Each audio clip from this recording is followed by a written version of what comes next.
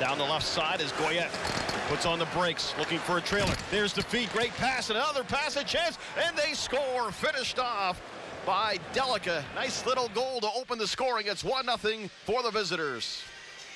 Great job by the new captain, Liam Ross, to keep that alive.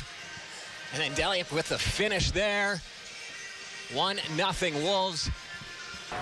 Going to be joined here by Nick Lardis and Tucker Robertson. A shot coming and a blocker save by Austin. Rebound by Smith. Stolen. Here's Alfano coming in. Looks, shoots, trying to go five hole and shutting the door was Weeks. Chase Stillman. Here's a steal by the Wolves. Nifty couple moves out in front and unable to bury it was Yendak. Here's a chance. They score. Short-handed. The Sudbury Wolves have taken a 2 nothing lead. Seconds left. Robertson across. There's the one-timer and denied as Nick Lardis. A great opportunity. Here's a steal. Joe Carroll. Carroll coming in. He shoots. Stop. Rebound. Scores. Jumping Joe Carroll.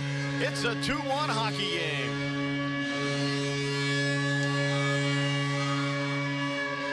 And that is the definition of an unassisted goal. Joe Carroll with the strip to get the puck. Shot coming, got redirected, loose puck, Ty Austin's down, and he's gonna make a big stop there to keep it two to one. Hoping this one ends before 9-10, I guess. Wants them to play. Shot, great save, Ty Austin with a trapper, flashing the leather. It does come back to Tucker Robertson. Robertson in the corner for Sproul. Out in front. Here's Joe Carroll. Shoots. Oh, he hits the crossbar. Loose puck. Oh, and the Sudbury Wolves clear towards the empty net. They score. What a turn of events. The Petes come an inch from tying the hockey game, and the Wolves fire it down into the empty cage, and they take a 3-1 lead.